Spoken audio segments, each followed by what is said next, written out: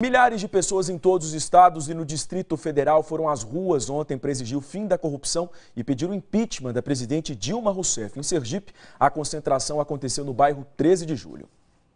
70 cruzes foram colocadas em frente ao mirante da 13 de julho, na zona sul da capital. Cada uma com palavras de ordem como ética, aumentos, corrupção, etc. A partir das 3 horas da tarde, os manifestantes portando faixas e cartazes com os mais diversos protestos, a maioria usando camisas amarelas, começaram a fazer panelaço e gritar palavras de ordem contra a presidente Dilma e o governo dela.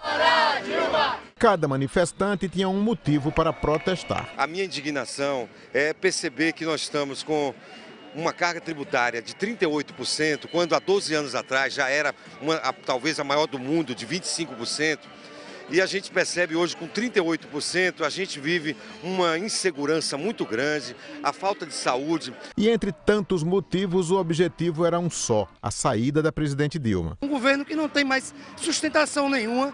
Temos uma presidente com uma estatística de um dígito, porque o Brasil é um país rico, é um país que tem um excelente futuro e não pode estar vivendo uma crise dessa sem precedentes que falta é atitude política, é isso que nós estamos cobrando hoje aqui. Uma das organizadoras do evento disse que ninguém aguenta mais. O país está um caos, a gasolina aumentando, daqui uns dias a gente não vai conseguir mais andar no nosso Brasil, não vamos conseguir ligar uma, uma energia para nada, então a gente está cansada de tanta roubalheira, de tanta corrupção. O movimento deste domingo trouxe de volta os caras pintadas, como na era Collor. E olha que era gente de todas as idades. Diferencial da manifestação ficou por conta desse mural. As pessoas chegavam, assinavam e deixavam seus recados. Diana, o que, que você escreveu aí? Eu escrevi fora a Dilma, porque estamos cansados desse governo. Nós só queremos um governo mais justo.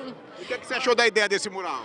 É uma ideia que mostra a opinião das pessoas, o que nós brasileiros sentimos nesse exato momento.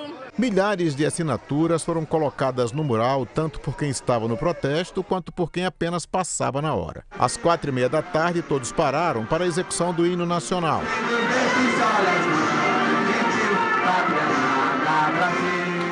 Em seguida, saíram pelas ruas do bairro 13 de Julho. Segundo a polícia, eram 3 mil pessoas, número diferente do apresentado pelos organizadores, de 5 mil. No final, um dos líderes do movimento disse que a avaliação era positiva. Só em ter sergipanos brasileiros que largaram o conforto do seu, dos seus lares para pegar esse calor que está aqui hoje e para acordar para a cidadania, não tem nada melhor do que isso, né?